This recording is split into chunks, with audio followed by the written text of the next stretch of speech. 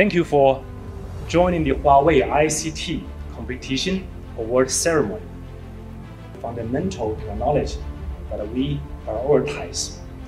So we're no longer only connecting human to human, but even machine to machine.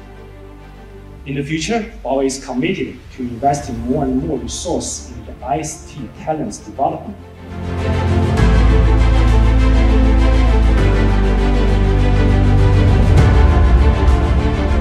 A special day because we do have significant number of academic uh, institution representatives in the room.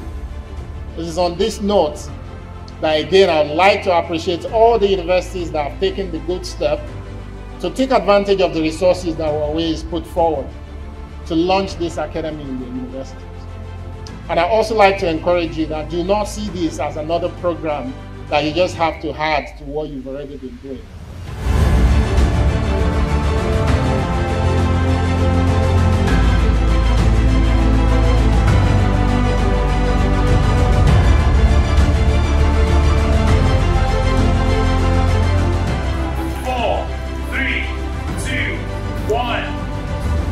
Thank you very much. The your Speaker Scholarship Program has now been effected in Nigeria.